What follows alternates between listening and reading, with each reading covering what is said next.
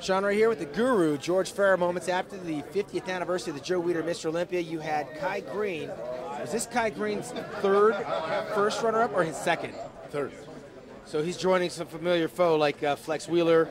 Kevin Levrone was a four time first runner up. And of course, we do know that the four time Mr. Olympia, Jay Cutler, was the first runner up six times. Kai is now three, tied with Rich Gaspari. So it's got to be bittersweet because uh, Kai did come out of the box boxing.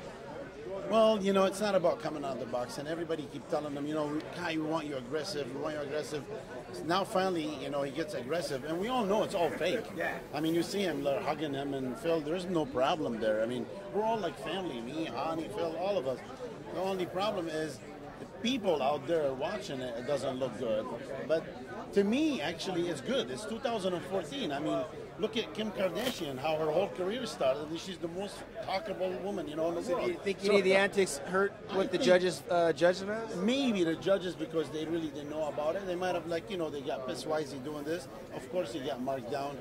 This is, I think, this is. We saw probably one of the best, you know, Kai Greene, and uh, I'm a little disappointed, man. I'm really sad because I live for my guys. You know what I mean? But it is what it is. Well, look, guys, the Hall of Fame bodybuilders have survived worse. I mean, Rich Gaspari uh, was three-time first runner-up. Flex Wheeler, a three-time first runner-up. It's not the worst place to be. But now you got to wait a whole year to get redemption. And the biggest question is, will he come back next year to try to take it away again? Of course he's got to come back. You know, he's hungry. That's the only thing we have, you know, me and him, our agenda is to really win that title. That's why he don't really want to do any other show, you know. Will we see him at all this year? Is this it? I think that's going to be it. So that's, that's, that's from me. He might change his mind. What's his demeanor backstage? Because it's bittersweet. You're you're on cloud nine because you're first runner-up, and at the same time you're the first loser. So how does he feel? Well, you know how. I mean, Kai is so like gracious and as humble as they come.